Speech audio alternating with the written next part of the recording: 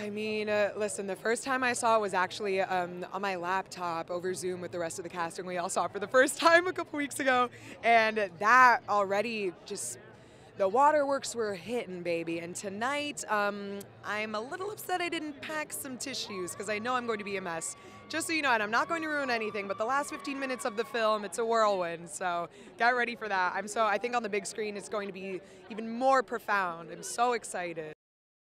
The message is, uh, you know, how well do you really know your family? We have these roles that are just put on us without us asking. And the world and society perceives us in a lot of ways, but there's actually a lot more going on inside of us, and we're more than just, you know, that one thing that everyone tells us we're really good at.